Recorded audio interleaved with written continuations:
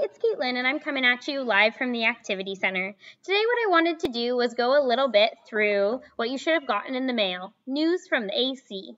I hope you guys are enjoying this edition, and I'm hoping to send out more. Uh, I wanted to talk today a little bit about some of the activities that you can do at home. So, you guys all have received this packet, and if you notice, some of the activities to do at home were to hold your own morning meeting. So I know all of you know what morning meeting is, but I wanted to let some of your support team know as well. That way you could share morning meeting and maybe bring that practice into your house while we're waiting to go back to program. So for those that don't know, morning meeting is what we do here at the Activity Center after everyone gets to program. We all sit in the big front room, we review the day, talk about fun events that are ahead, how we're feeling, what we're excited for, if anything's bothering us, and then we go around, we play a couple games. It gives us a great start to our day and gives us some good positive energy. So without further ado, I'm going to talk to you about morning meeting. We bring our morning meeting board over. Sorry, guys, you gotta bear with me as I learn YouTube. So, today is Thursday, April 16th, 20, 2020. so, Thursday, that means that yesterday was, yep, Wednesday. And tomorrow is, yep, it's Friday. If you want at any time, you can pause the video so you can respond to my questions and then play it again so you can hear back. So after we review what the day is, we have a couple of special weather reporters and they'll report on the weather. Today it looks like it's really nice and sunny today. It's cloud it, there's a couple clouds in the sky, but it's mostly blue skies.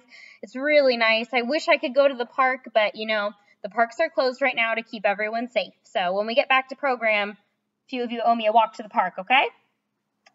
After we go through what today is, then we'll typically go around and we'll talk about maybe some of the special events are coming up or maybe April 16th is a special day. Turns out April 16th is actually wear your pajamas to work day. So for you, for all of you who are staying in your pajamas today, awesome. I give you permission to stay in them. Uh, for those that have been wearing pajamas for a few days though, you should probably go change. Um, it's also National, wait for it, Orchid Day, which is very cool, and my personal favorite, National Eggs Benedict Day, which when I can go out to breakfast again, I think I want to get some Eggs Benedict. After we go through all that fun stuff, we typically will play a name game. And what we do for the name game was we all go around and we all say our names as fast as we can. We typically will do it two or three times just so we can figure out if we can beat our time from before.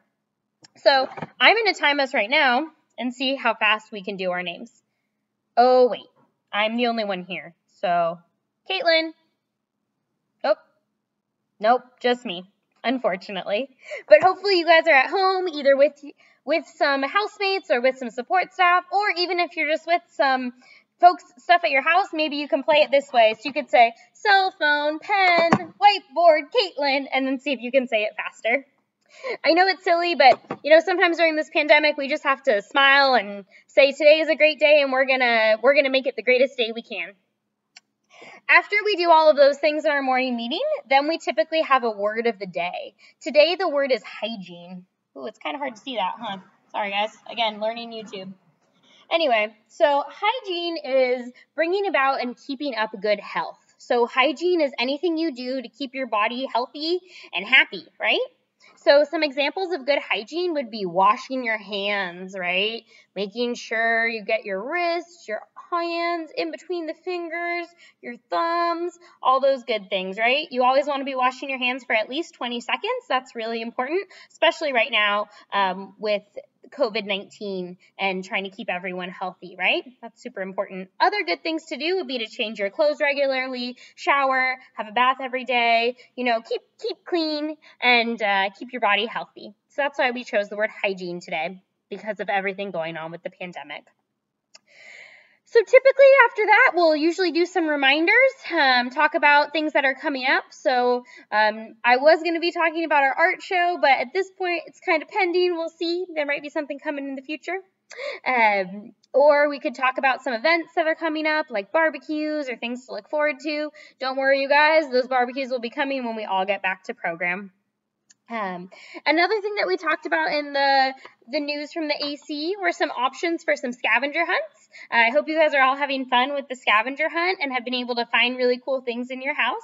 I'd love for you to share them with me if you have any great tips. And then the last page was a bingo page. And so if you guys have any questions with that, just give me a call and I can help you through some of those bingo activities.